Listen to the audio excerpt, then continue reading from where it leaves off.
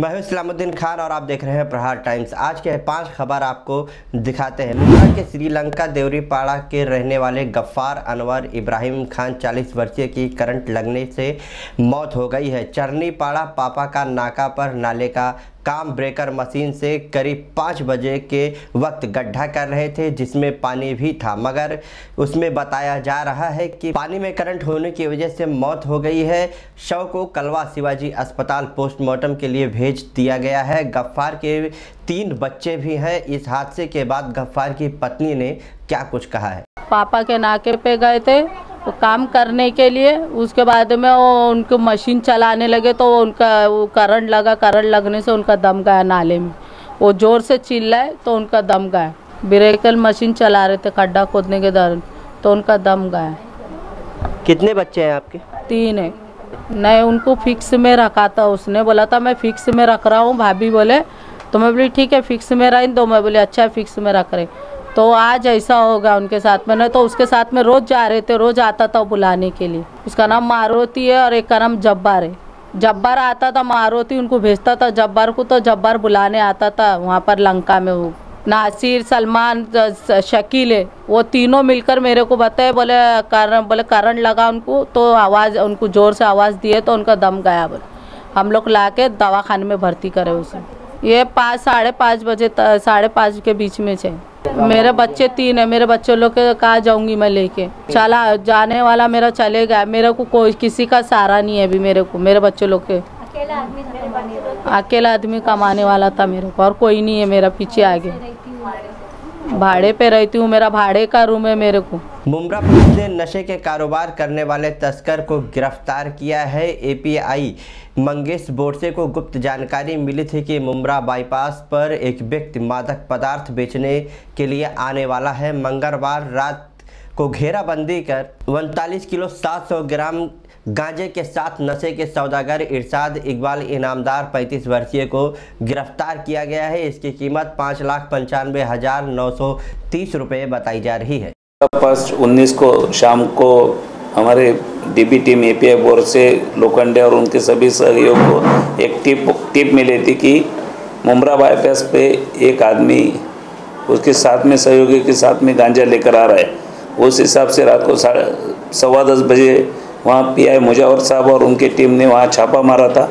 वहाँ उनचालीस kilo 700 gram near approximate six lakh का गांजा रिकवर हुआ है। उसके ऊपर इकबाल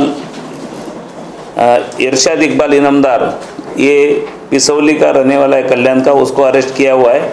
और उसके कहे मुताबिक एक एक्यूज जो उसकी सास है, वो फरार है अभी, वो मिली नहीं है। वो परतुर की रहने डिस्ट्रिक्ट जालना की रहने वाली है। वहाँ से वो गांजा लाती है उधर से। अभी तक जो जानकारी प्राइम, प्राइमरी मिली है कि वो साउथ से गांजा आता है, ऐसा उनका कहना है। और ये बाय ट्रेन लाया था, ऐसा एक्यूज ने बोला है। एक्यूज को आज पीआई वड़कर साहब ने कोर्ट में प्रोड्यूस किया था और 18 मई तक उसका पीसीआर मिला है। आगे की जाँच के लिए। महाराष्ट्र के ठाणे शहर में बुधवार की सुबह एक कार नाले की पाइपलाइन बिछाने के लिए खोदे गए गड्ढे में गिर गई। ठाणे के घोड़ बंदर की तरफ़ सचिन काकोडकर जा रहे थे। तभी कार रास्ते में नाले की पाइपलाइन के लिए खुदाई की गई गड्ढे में गिर गई। इकतीस वर्षीय काकोडकर की अस्पताल ले जाया गया मगर वहाँ डॉक्टरों ने उन्हें मृत घोषित कर दिया। आज पंद्रह तारीख को early morning four thirty to five thirty के बीच में नीलकंठ से घोड़बंदर की तरफ़ जो रास्ता जाता है वही रास्ते पे मुल्लाबाग बस डिपो के साम बाजू में ठाणे महानगर पालिका का मल निसारण का काम चालू है अंडरग्राउंड पाइपलाइन का काम चालू है। वही वहाँ पे सचिन सुनील काकोड़कर ये आरटी का कार लेके जा रहे थे तो इनकी का, उनके कार वो खड्डे में गिर गई और इसलिए वो अंदर ही फंसे थे तो वहाँ पे जैसे इन्फॉर्मेशन मिली पुलिस वहाँ पे जाके पुलिस फायर ब्रिगेड अदर के अदर लोग वहाँ पे जाके, उनके रिलेटिव्स उनको जाके और सचिन को बाहर निकाला गया और बाहर निकालने के बाद उनको बेतने हॉस्पिटल लेके गया गया औषध उपचार के लिए। तो वहाँ पर उन पर ट्रीटमेंट चालू था तो वहाँ पर ट्रीटमेंट के दरमियान उनको डेड घोषित किया डॉक्टर ने।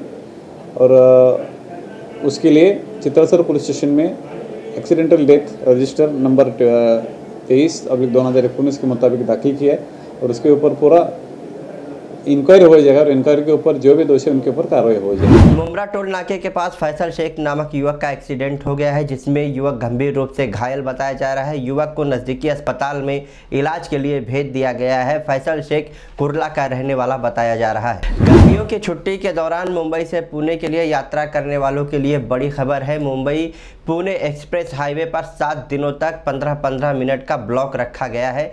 14 मई से 17 मई और 21 मई के बीच 23 मई तक आयोजित किया गया है। पुणे एक्सप्रेस हाईवे पर पत्थर हटाने का काम किया जाएगा। इस दौरान तलेगांव टोल नाका से राष्ट्रीय महामार्ग चार का इस्तेमाल किया जा सकता है। तमाम खबरों को जानने के लिए देखते रहिए प्रहार टाइम्स।